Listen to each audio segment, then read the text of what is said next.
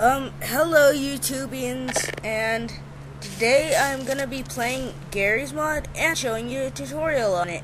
And I'm sorry I haven't made a video in a while, and that's because of school. So let's get right into it. And as the title insists, I'm gonna show you something all about cameras. So, I've just spawned an NPC in, and I'm gonna go to my main menu. Oops. And let's start with the average camera. And I'm gonna put that on one, which is the toggle camera. So, yeah. Then I'm just gonna place it wherever. And then I'm gonna make the camera track this guy.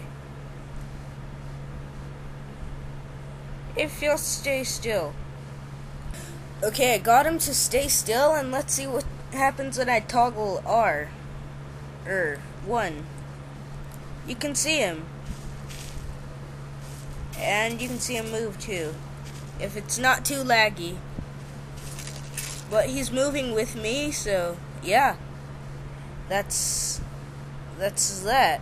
And the next camera I will be showing you right now, so I'm just gonna go into no clip mode and place it a decent height up here.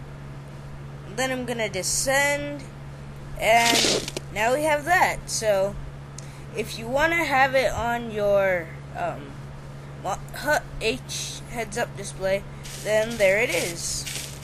It's right, it's right there. But if you want to have it like a TV kind of thing, then I'll show you how to do that. Just okay. I'll walk over to this wall. No, because the camera can't see me. Then I'll get a board kind of thing. Oh god. But then I will set it to materials, and when you see the one that says models render target, then you click on that one and set it to that. Now it's kind of like a TV. It's Inception!